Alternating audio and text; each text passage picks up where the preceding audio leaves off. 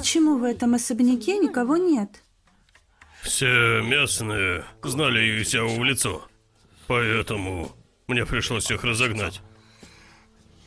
Если бы жена не ушла так рано, с ней бы тоже пришлось развестись. Я сказала всех заменить, а ты просто всех выгнал. Если что-то пойдет не так, ты не только лишишься своей должности, ты также лишишься своей жизни. Послушайте, наследник князя уже прибыл. Не волнуйтесь, подобного не произойдет. Это в твоих интересах.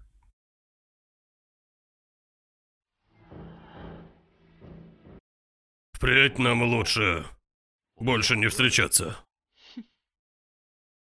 Боюсь, при всем желании не свидимся. Где ваши шумные служанки? Откуда мне знать? Я за их перемещение не отвечаю. Захотели, ушли.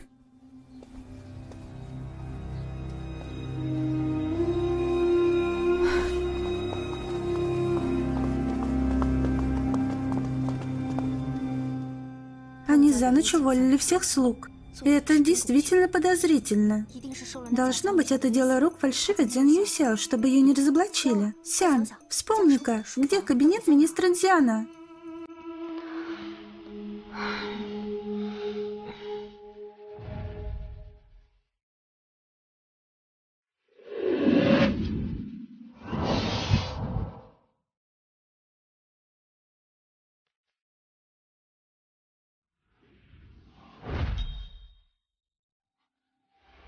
Он вон там.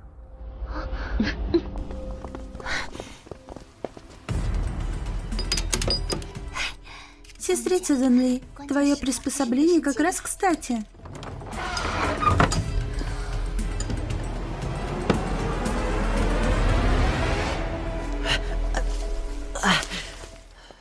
Господин, хотите поиграть в прятки? Хотите? Хорошо, я прячусь, ты ищешь.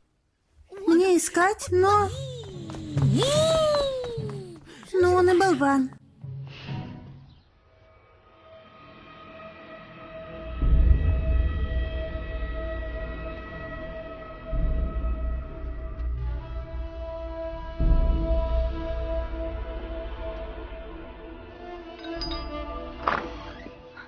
Господин, Поговаривают, что министр Дзян тайно создал фракцию, из придворных предателей является их главой. Слушайте все. слушаем. Выясните, получал ли министр Дзян нечестную прибыль, а я проверю его бумаги. Да. Госпожа. Хуни, возвращаемся в поместье. Госпожа, похоже, сейчас не получится. Почему? Мы играли с дурачком в прятки, и он пропал. Все обыскала. Я не нашла его. Плохо. Они явно что-то затеяли. Идем.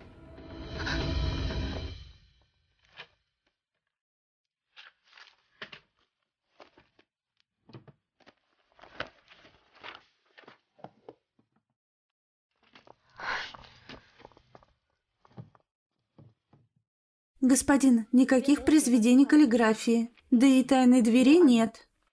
Господин, здесь нет никаких семейных реликвий. Все эти рукописи написаны министром. У меня также. К тому же деньги все государственные. Их мало. Все серебряные. Хорошо, все проверьте. Щели комода, потайные полки. Ничего не упустите. Есть.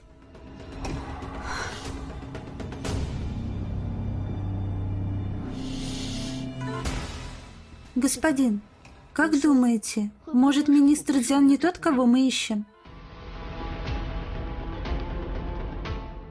Слишком чисто. Он же высокопоставленный чиновник, как у него не может быть ценностей? Подозрительно. Нет уж, больше нельзя прикидываться дураком. Нужно вернуть все на свои места.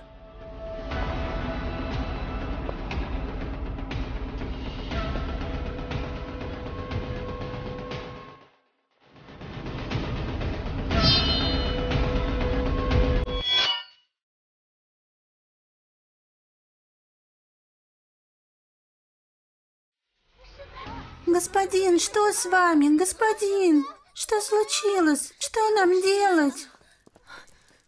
Что произошло? Господин, он... Кто играл с господином в прятки? Это я. Он упал в колодец. Как так вышло? Наверное, заплутал, бедняжечка. Хуньюй, тебе конец. Князь тебя накажет. Господин, господин. Господин, о боги.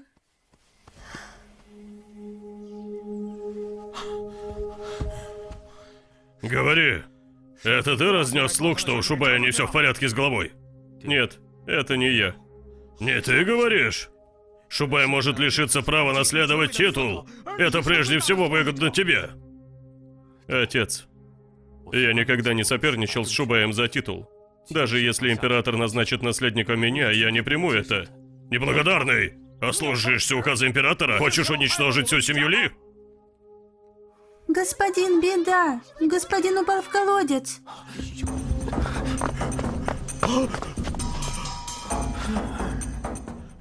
Что... что с ним? Господин, он упал в колодец.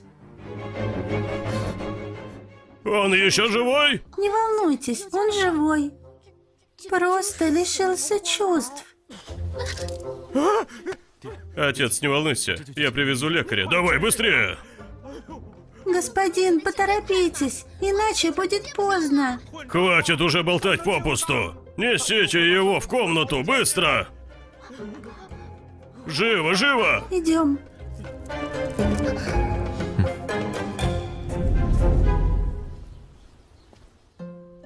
Этот запах.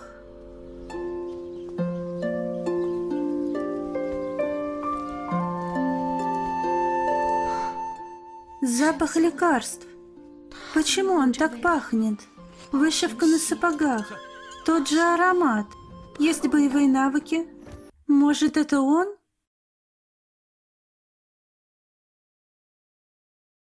Госпожа, госпожа, о чем задумались? Думаю, человек, спасший меня, это он. Плохо дело. Полная неразбериха.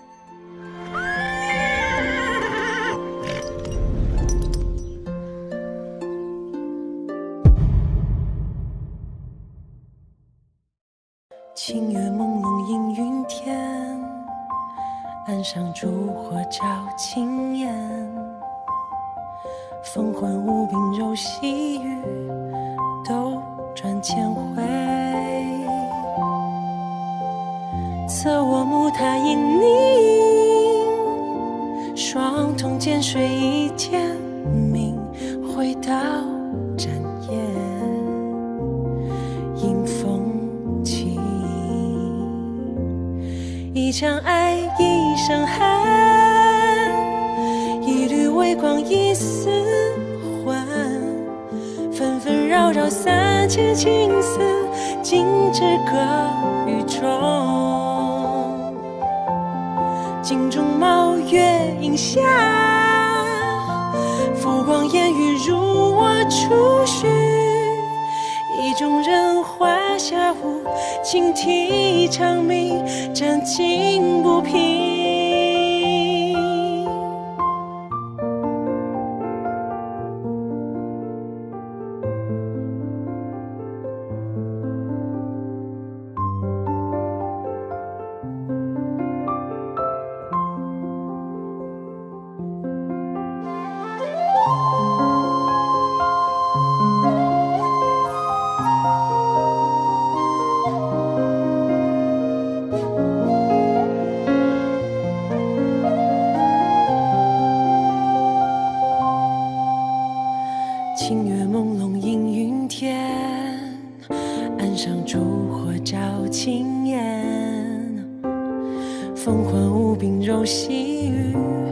斗转千回。侧卧木榻阴凝，双瞳渐水一剑明，回到展颜。情。一场爱，一声寒，